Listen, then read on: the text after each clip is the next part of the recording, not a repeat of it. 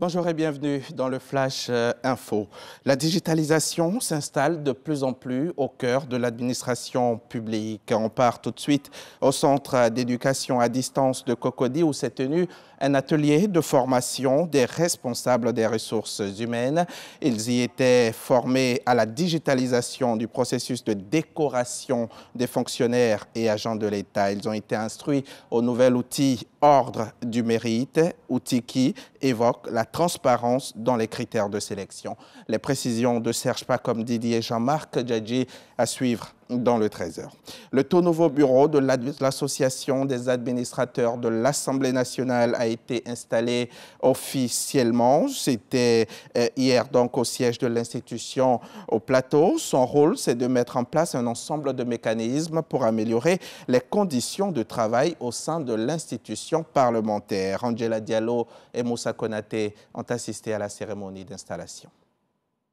Renforcer les capacités des membres, consolider les liens confraternels et développer un esprit d'équipe, d'entraide et de solidarité en vue de contribuer au rayonnement de l'institution parlementaire. C'est l'objectif de l'Association des administrateurs de l'Assemblée nationale, 3ANC. Je tiens à vous saluer, à vous remercier sincèrement, vous féliciter pour votre mobilisation et vous encourager pour la réalisation des objectifs que nous nous sommes assignés. Chers membres, restons mobilisés et soudés. Le bureau et les membres de la 3ANC sont présentés officiellement. La mise en place de l'organisation est soutenue par l'institution. Nous nous inscrivons dans la dynamique lancée par Madame la Présidente tout à l'heure de la 3ANC de la formation.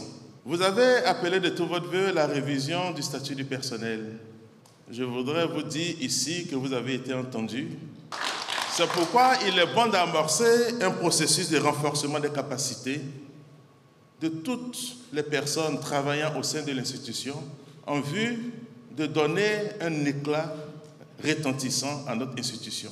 Créée le 23 juin 2021, l'Association des administrateurs de l'Assemblée nationale compte à ses jours 63 membres actifs et est dirigée par un bureau exécutif composé de 9 membres. Les islamistes radicaux Shebab ont revendiqué une attaque menée hier vendredi contre une base de soldats ougandais de la force de l'Union africaine en Somalie. C'est ce qu'ont annoncé l'ATMI, c'est le porte-parole de l'armée ougandaise, sans communiquer sur d'éventuels crimes, d'éventuelles victimes. Les attaques contre des bases de cette force sont régulières et fréquemment interprétées comme un message destiné à hâter le départ de la force de la Somalie. L'actuel mandat d'ATMIS prévoit son retrait progressif d'ici euh, fin 2024.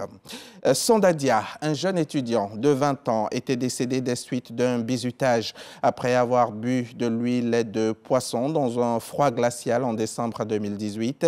Hier vendredi, la Cour d'appel d'Anvers a prononcé son arrêt, reconnu coupable d'homicide involontaire.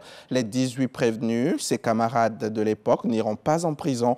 Ils écopent, selon les cas, de 200 à 300 heures de travaux d'intérêt général. Ils devront payer 400 euros d'amende ainsi que des milliers d'euros de dommages et intérêts aux parties civiles. Si les ex-camarades de Sandadia évite en revanche la prison, c'est parce que la Cour a reconnu que le liquide qu'avait dû boire l'étudiant n'était en soi pas une substance nocive, alors que les médecins ont estimé que la mixture était la cause de l'œdème cérébral fatal. L'intention de donner la mort a donc été écartée.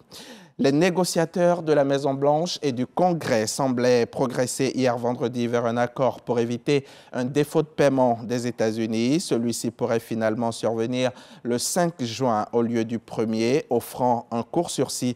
Joe Biden s'est montré assez optimiste en fin d'après-midi hier, disant espérer savoir un accord. Le président euh, de la Chambre des représentants, principal protagoniste républicain de ce feuilleton politico-financier, avait noté des progrès, mais rien n'est acquis tant que tout n'a pas fait l'objet euh, d'un accord. La directrice générale du FMI a jugé que trouver une solution était euh, primordial pour l'économie mondiale, tout en soulignant que les États-Unis devraient faire plus pour réduire la dette publique. Fin de ce flash, on se retrouve à 13h pour le point complet de l'actualité.